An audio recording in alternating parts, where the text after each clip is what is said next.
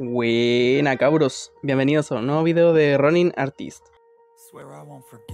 En esta ocasión estoy realizando un dibujo de Neon Genesis Evangelion y en este caso decidí dibujar a Rei Ayanami, que es mi personaje favorito. Este será el último dibujo basado en la encuesta que hice en Instagram, así que muchas gracias a todos por participar. Si quieren interactuar conmigo y ver los avances que subo en Instagram, eh, les dejo mi perfil en la descripción. Sin nada más que decir, empiezo con la explicación del dibujo. En esta ocasión voy a empezar dibujando el contorno de la cabeza y el cabello, ya que este método me sirve mucho cuando el dibujo es un poco más pequeño que otras veces y me sirve, mucho más para ubicar las proporciones. Ya con esto explicado empiezo a dibujar los ojos, la nariz y la boca. Los ojos son un poco más simples ya que los detalles los voy agregando en el coloreado.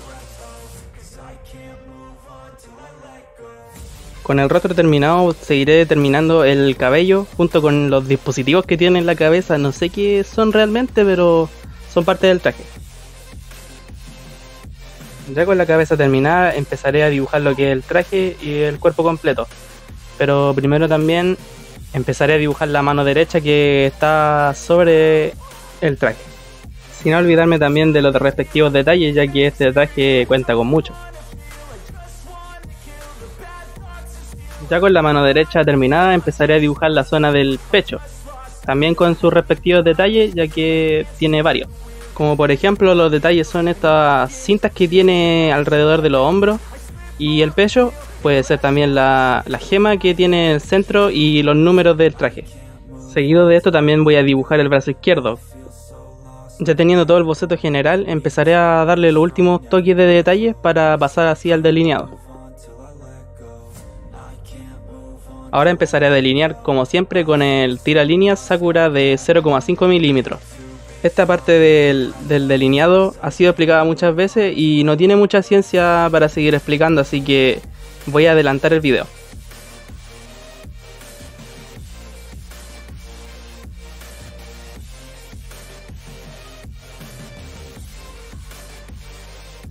Para la sombra del color del cabello empezaré con un gris azulado. Como segunda capa para la sombra eh, seguiré con un azul pétalo.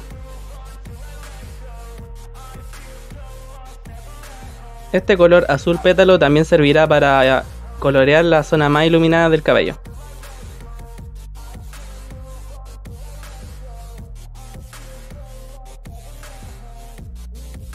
Como dije anteriormente vamos a colorear todas las zonas restantes con el azul pétalo.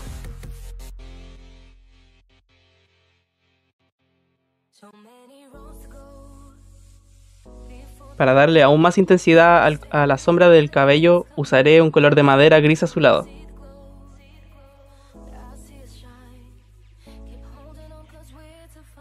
Para los dispositivos que tienen en la cabeza usaré un, rojo vívido y un gris verdoso. Los mismos colores antes mencionados los usaré para los ojos.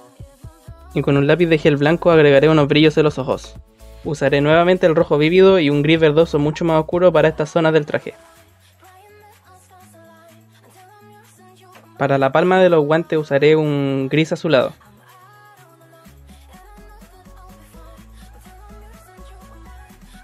Usaré un gris cálido de tono más claro para poder pintar todas las sombras del traje, ya que la gran mayoría es de color blanco.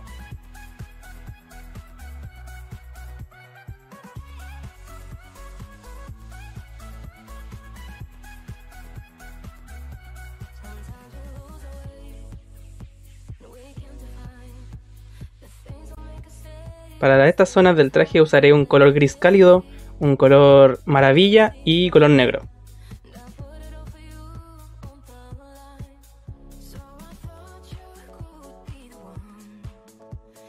Para agregar más detalle a esta zona del traje usaré el lápiz de gel blanco para dar la sensación de que el traje está brillando. Lo mismo se va a repetir con el cabello. Para colorear esta parte de aquí usaré el color oro junto con un toque de blanco.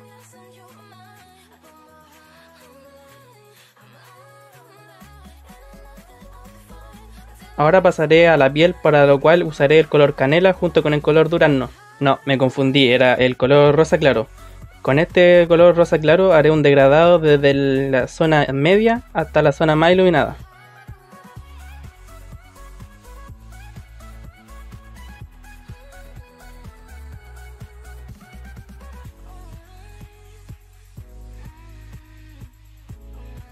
Para pintar la boca usaré el color salmón.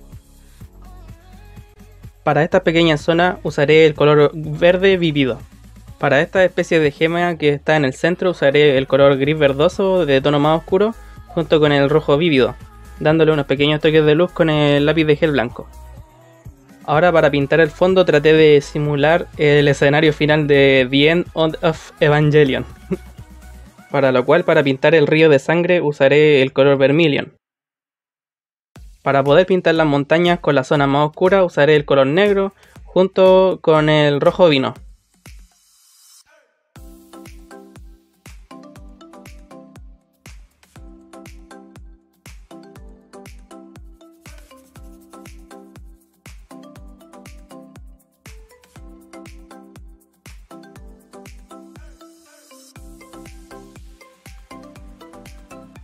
Para poder pintar las nubes del cielo usaré el color lila.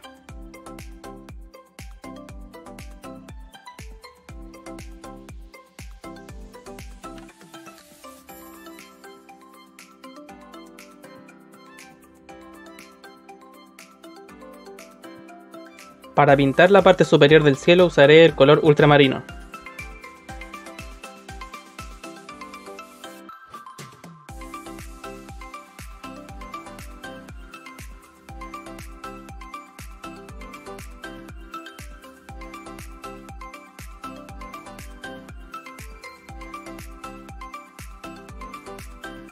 Para la parte inferior del cielo usaré el color púrpura vivo, vívido. Para poder colorear el cielo de una forma más uniforme, XD, eh, pasaré dos capas, una horizontal y una vertical. Pero para eso voy a tener que sacrificar estos dos marcadores. ¿Por qué soy tan pobre, Shimimar?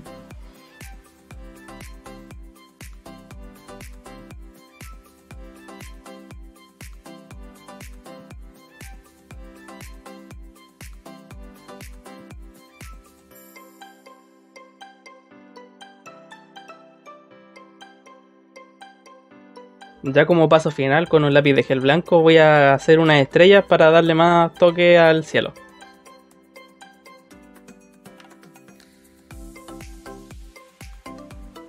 Y este es el resultado final pues chiquillos. Déjenme saberlo en los comentarios qué les pareció este video. Dejen su buen like, suscríbanse y compartan para hacer que este canal llegue a mucho más gente. Muchas gracias a todos por estar apoyándome como siempre. Y nos vemos la próxima.